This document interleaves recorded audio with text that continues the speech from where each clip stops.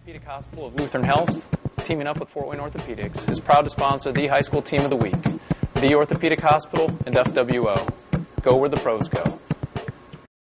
We're here in Churubusco with the Eagles, the team of the week, 7 0 in the season. Head coach Lee Etzler joining us now. And, coach, you guys have been really dominant on both sides of the football, giving up just nine points a game, scoring right at 40 throughout the season. How have you been able to strike that balance?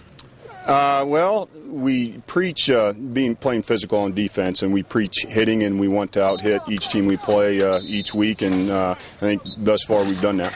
I think when everybody takes a look at your stats, the running game really stand out.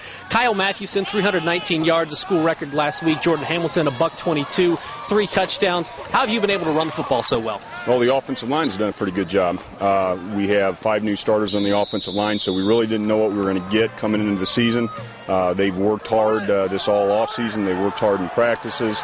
They take their job pretty seriously, and they opened up some pretty good holes for our running backs. When you take a look at the games you've got for the next two weeks, I mean, the NECC comes down to the next two weeks. How do you keep these guys focused and get ready for two huge games against Fairfield and Lakeland? Well, I, I don't think that's going to be too difficult. Uh, you know, we look forward to playing uh, Fairfield every year. We look forward to playing Lakeland every year. This is championship season. That's how we sell it.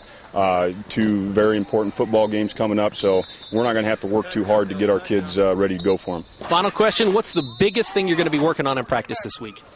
Uh, I don't know if there's one thing in particular, but we're just trying to nail down our techniques. We're not going to do a whole lot different these next two weeks. We're going to try to get better at what we do. Uh, so block a little harder, uh, run a little harder, fake a little harder. Uh, the speed of the game uh, during this part of the season, especially against two real good teams, is going to increase quite a bit. So uh, we want to focus on playing fast. All right, the Churubusco Eagles 7 0, your team of the week.